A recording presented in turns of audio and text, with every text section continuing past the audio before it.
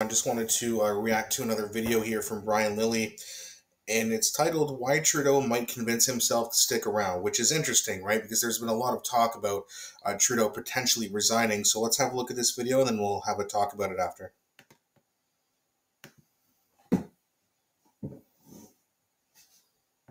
Is Justin Trudeau staying or going? It's an issue we've been debating for months. Hi, I'm Brian Lilley, political columnist for the Toronto Sun. Now, while I've been firmly on the Trudeau's not going anywhere side, Warren Kinsella, fellow columnist here at the Sun, he's been saying Trudeau's going to go. Of course, Warren predicted January, then April, then June, and here we are, Canada Day long weekend. Trudeau is still in charge, but now he's got the the problem of the Toronto St. Paul's by-election hanging over his head. He's got people calling for him to leave, ministers not fully defending him, and now a lot of people behind the scenes saying Trudeau's got to go. So maybe things will change. But as I wrote about in a recent column for The Sun, Trudeau may also be looking around the room and saying, you know what? Bad as things are, I'm still the best person to lead the party into the next election. And maybe, just maybe, I'll win more seats than somebody new. Do you think Brian Mulroney would have actually taken the Progressive Conservatives down to two seats in 1993? No, he would have won more seats than Kim Campbell did. It would have been a better run campaign.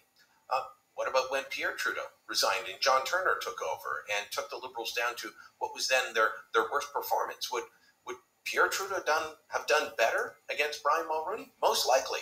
And the same could be true now. So maybe that's why Trudeau's not leaving.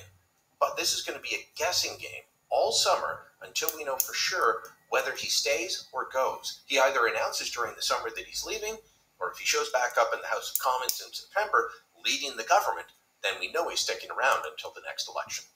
Let me know what you think. Drop a comment down below, share this on social media, and don't forget to subscribe to our channel.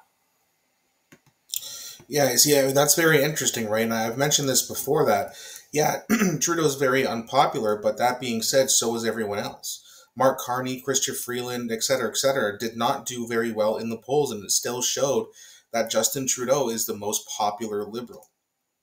Now, that being said, you know, like what's better for the conservatives, right? Like if if Justin Trudeau sticks around, they can just keep hammering Justin Trudeau. Or if it's someone else, you got to kind of start over and go after someone else, do more research. They'll be able to do it, but right now, it's just it, life is on easy mode for Pierre Poilievre because you just have the Trudeau's track record to go off of. You can just look at how bad things have gotten in Canada for the past nine years, and then point at Trudeau and say it's your fault. And Canadians, according to every poll right now, are agreeing with Pierre Poilievre and that Trudeau is is extremely unpopular but so are the alternatives. So if you're the Liberal Party, what's the best way to cause damage control? Because you're not winning at the next federal election. There's no way.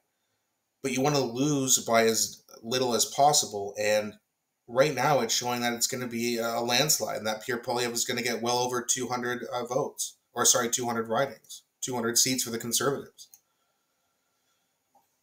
Okay, so can you restore that or at least get Pierre under 200 seats with Trudeau? I don't think so. But to be fair, I don't think Carney can do it either.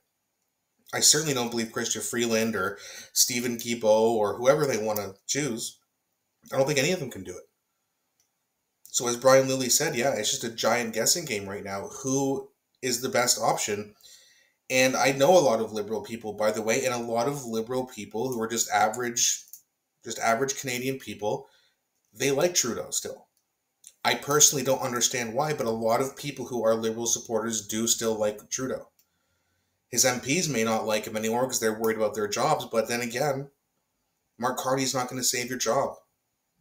Right? If you're Karina Gould, who you know runs in who, her current seat is in uh, Burlington, where which is where I grew up, and you know, Mark Carney coming in isn't going to flip Burlington red, right? It's going to go blue. Like, it's that's what it's looking like right now, and there's nothing the liberals can do to stop it. There's just been too much damage that's been done. Even if the liberals wanted to, you know, reverse that damage, they just don't have enough time. Not to mention, no one believes them in the first place that they would undo the damage or even attempt to.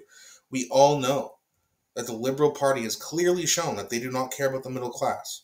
If they did, the last nine years would not have went the way it has.